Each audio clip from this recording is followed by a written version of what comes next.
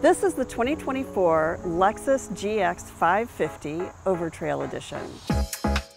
The Lexus GX was due for a makeover. It's been over a decade since it's had a full redesign. The Lexus GX customer has been really, really loyal. They love this car for its reliability, for its capability, for its ability to go anywhere and to carry lots of people. It seats up to seven passengers. The Lexus GX 550 starts at about $64,000, which for a luxury car really is pretty reasonable. It tops out at about $77,000. The Overtrail edition that we're driving actually is one of the more affordable. It starts in the high 60s, as seen here. It's about $71,000.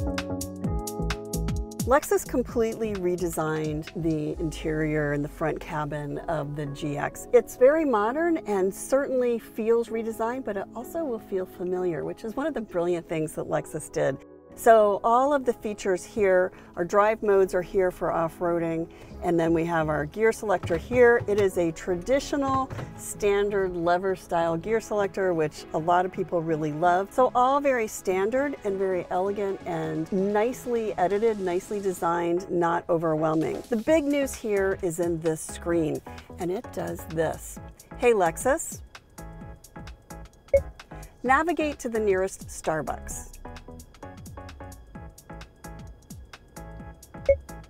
Lexus customers can subscribe to a cloud-based navigation and information system, or they can use the built-in. It's not super expensive, but it does give you some nice capability, especially if you're off-road, off the grid. It will update constantly, so you'll always have the most up-to-date maps and information loaded into the system. Toyota, which is the parent company of Lexus, hired a team of about 75 people from gaming, from Hollywood, from user experience, from uh, computer companies to design this system. It's really one of the best in the business. Pretty much anything that you'll want to do, you can do right here on this screen.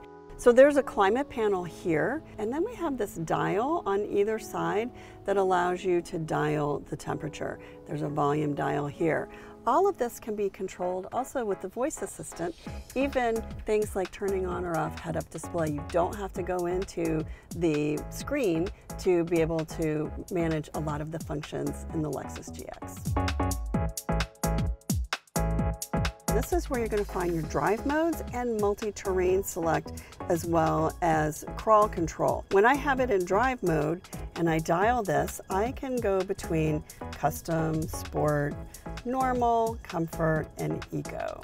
But if I tap this multi-terrain button here, then I can dial through my off-roading modes. So dirt, sand, mud, or if it snows, this is probably where you want to be. This is going to give you true four-wheel drive. And then you can actually lock the differentials so that you have complete control over traction on each wheel.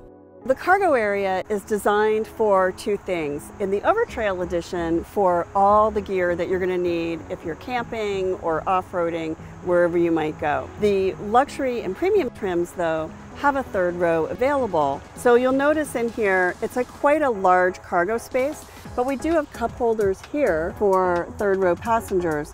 And then there's a household outlet here, which serves double duty. That's a great thing for campers, but it's also a great thing for kids with computers.